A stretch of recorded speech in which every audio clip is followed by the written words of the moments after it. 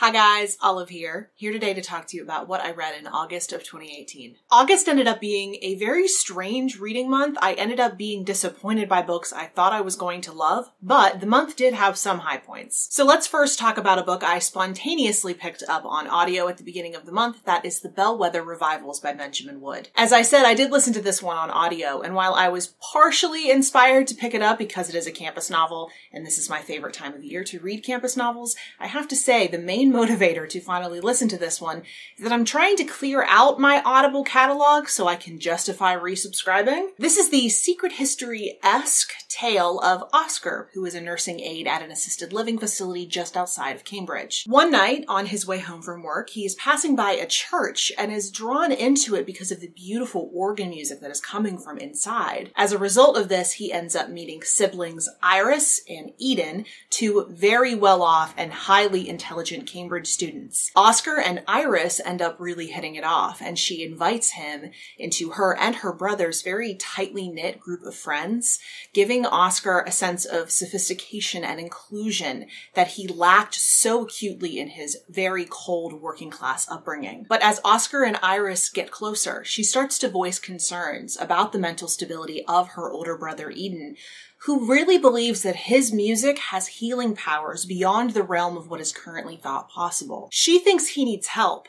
That is, until his stunts seem to start having results. But before the whole group knows it, Eden is spiraling out of control and straight into tragedy. I have been wanting to read this book for a really long time because, as I said, it's a campus novel, but also because Benjamin Wood's second novel, The Ecliptic, was my favorite novel of 2016. Benjamin Wood seems to really excel at examining mental illness in his books. Both this book and The Ecliptic both dealt with that. It seems like his third book that was just recently published, that I also ordered is going to explore some similar things as well. This was a fairly strong novel. It was certainly compelling, but I have to say that the relationships between the characters fell a little flat for me. I never really felt a spark between Iris and Oscar, which is a very important thing for this story. And also the dynamic between that group of college friends was kind of lacking. There wasn't the energy or the zippiness that I come to expect from a secret history-esque formula. So it was a good novel, but not a great one. The next book that I picked up in August was another Audible selection as I went through my catalog trying to clear it out,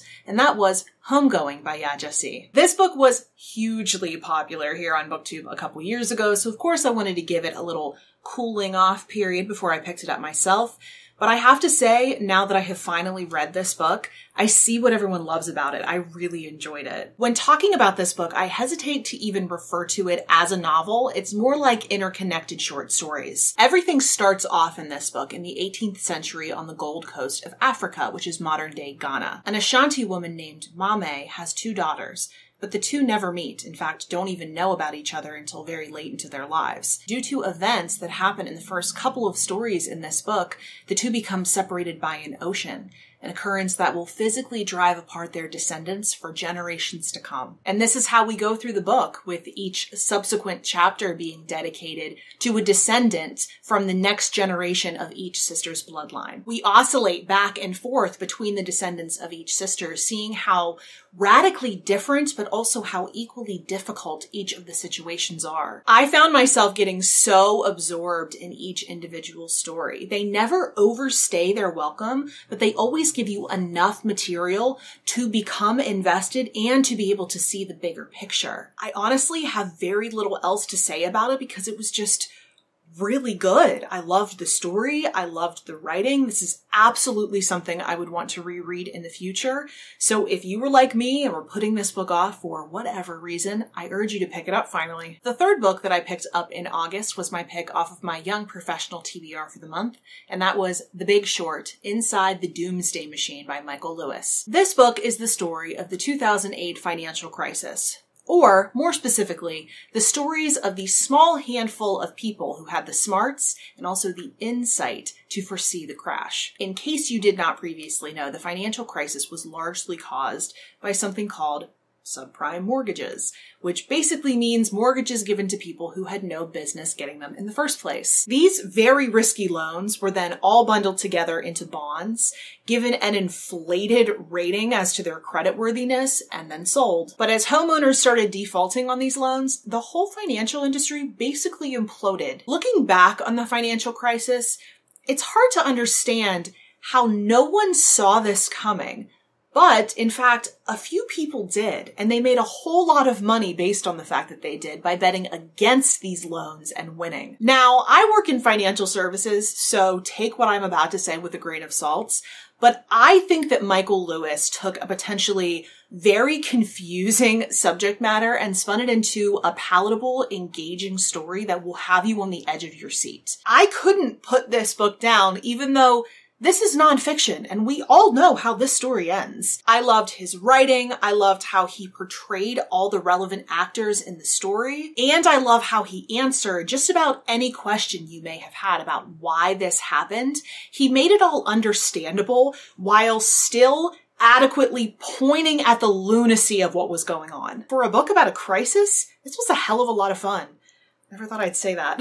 Another fantastic piece of nonfiction that I picked up during the month of August was Eggshell Skull, a memoir about standing up, speaking out, and fighting back by Bri Lee. I picked this book up off of the recommendation of Jaclyn over at Six Minutes for Me, who has a newer booktube channel that you absolutely must be following. There was just something about this book that made me want to pick it up immediately when it arrived from Book Depository. As the subtitle says, this is a memoir of Bri Lee's time spent as a judge's associate in Australia. During this time, she traveled with her judge, where they were presented with horrific case after horrific case mainly sexual crimes, almost exclusively committed against women and children. It is also during this time that Bri starts contemplating whether or not she should finally file charges against the young man who committed a sexual assault against her during her childhood. This book is a fistful of raw emotion ready to strike out. This was a tremendously difficult period in Bri's life, and she is very honest in her portrayal of that. I think if I were to pick one thing about this book that was the most compelling, and by compelling, I mean infuriating. It was when Bri takes you through each stage of the court process. So beginning with the reporting of the crime, she takes you through every subsequent step, tells you what the name of it is, and tells you the rate at which cases are either thrown out or dropped during each stage and for what typical reasons. This book will make you so angry. It will break your heart, but it will make you so damn proud of Bri Lee for the perseverance that she shows. This was definitely not an easy read, but a very, very important one that I urge you to pick up. The next book I'll be talking about is Madame Bovary by Gustave Flaubert, translated by Eleanor Marx. This was my pick off of my classics TBR for the month that I ended up really not caring for. This is the tale of Emma Bovary, a young woman who marries a prematurely widowed doormat of a doctor. Emma very quickly becomes dissatisfied with her life, has a couple of petty affairs, and basically ruins everyone's lives. Now, normally when I don't like the story of a book, I'm pretty cut and dry about not liking the book as a whole. But this one is really hard because the writing in it is so beautiful. I really wanted to get invested in this book because of how lyrical the prose was. At the beginning of the book, I think Flaubert did a wonderful job in portraying Emma's dissatisfaction. He portrayed it as though she was kind of standing on the other side of a foggy window looking in on all the happy people, but not being able to join them in their contentedness. But then again, the very, very beginning of this book just showed us portions from the doctor's early life and during his upbringing, which served no purpose other than to show how lazy and vanilla he is. I failed to see any larger point or themes to the story. I thought it was just really frivolous and boring and at the end of the day not for me. During the month of August, I also read a book called Ecstasy by Mary Sharratt. I buddy read this book with Maeve over at Scribble Maven. This is historical fiction about real life Austrian socialite and composer Alma Mahler. This book takes on a pretty good chunk of the very interesting life she led. In the book, Alma is a very creatively driven and passionate young woman who desires to pursue her love of and talent for composing even as her mother and stepfather are pressuring her to marry. She at first falls deeply in love with her music teacher, only to later be swept off her feet by famous composer Gustav Mahler. She at first hopes that Mahler could be a type of mentor as well as her lover, but Mahler makes it abundantly clear before they are married that they both cannot be composing if they are going to have a successful marriage. And so she gives up her first and truest love, music, to be the woman behind Gustav Mahler. The book then chronicles the life that they lead together with their relationship as well as Alma's hampered spirit at the core of this novel. This was one of my most anticipated new releases of 2018 because of how much I enjoyed Mary Sharratt's previous book, Daughters of the Witching Hill. But unfortunately, this book was just okay. It wasn't bad, but it was rather hollow. During our buddy read of this book, Maeve and I had a couple of really illuminating conversations when we were trying to put a finger on why exactly this book wasn't working for us in the way that we wanted to. And we both kind of agreed that it seemed like the author was afraid to go as far as she needed to. In the afterword of this book, Mary Sharratt is talking about all the different sources that she consulted and the impression that she got of who Alma Mahler was as a person when she was doing her research. And she said in that afterword that Alma Mahler was a very complex and contradictory character, but that's not the way she portrayed her in the book. In the book, she's kind of like this tortured philosophizer. We're told in the book that it's absolute agony for Alma to be separated from her music.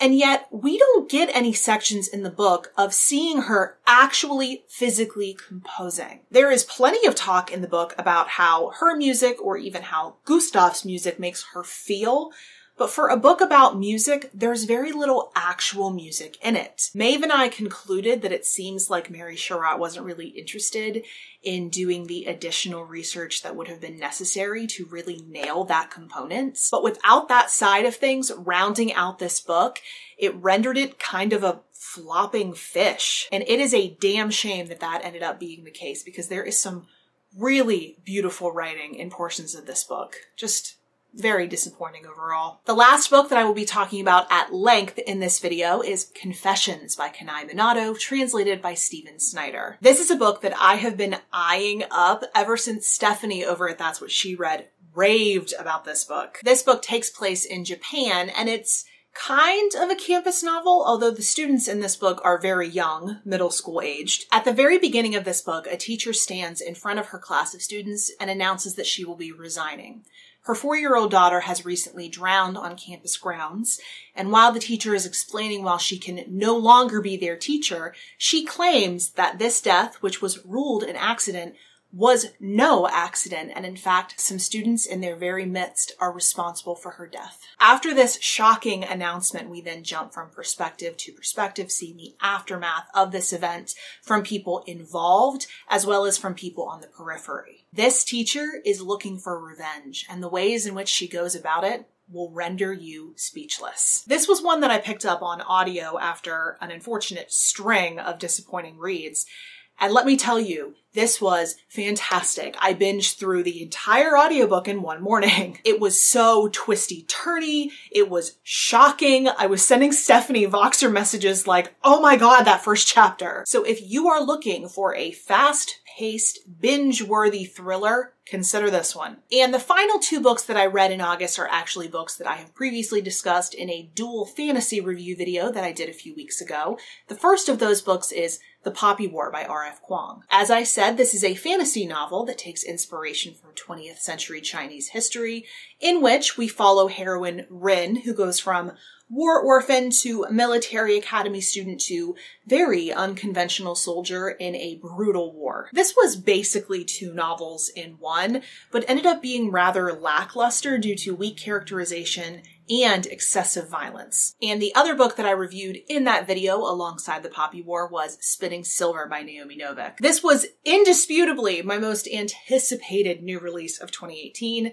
This is Naomi Novik's follow-up to her enormously successful fairy tale retelling book Uprooted, but where Uprooted takes inspiration from Beauty and the Beast, Spinning Silver puts a spin on the classic fairy tale Rumpelstiltskin. This one broke my heart for all of the wrong reasons, failing to be even remotely as captivating as Uprooted, and thoroughly confusing matters with endless point of view characters and absolutely zero world building. Disappointed doesn't even come close to how I'm feeling about this book. So if you would like to hear more of my thoughts on either or both of these books, I will link my dual review video down below for you to watch. So those were all of the books that I read in August. It was a little bit all over the place. I'm hoping that September will be entirely more successful. Please let me know in the comment section below if you've read any of these books, what you thought of them, if you now want to read them after hearing me talk about them, or if you have any more general comments or questions, those can also go in the comment section below. But you can also reach out to me on a variety of different places on social media. The links to all of my profiles are linked in the description box below. Thank you so much for watching. I hope you're having a wonderful day. I will see you in the next video. Bye.